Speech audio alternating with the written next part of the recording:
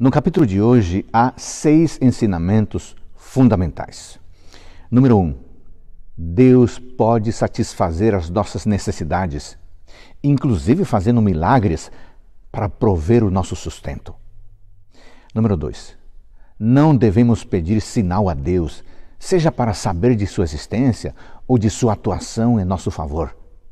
O nosso relacionamento com Ele não deve depender de demonstrações, mas sim de fé.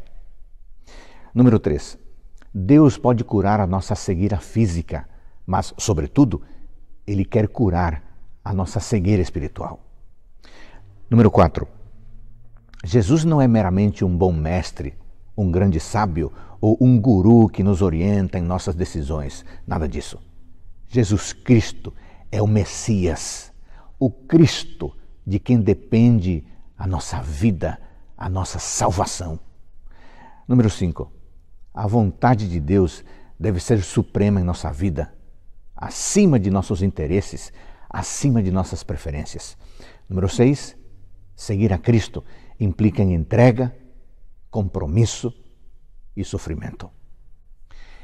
Quem se dispõe a seguir a Jesus Cristo precisa saber que deve trilhar uma estrada recheada de responsabilidade, atitudes corretas, ações corretas e uma vida disciplinada. Bênçãos do Pai Celestial para você hoje e também para a sua família.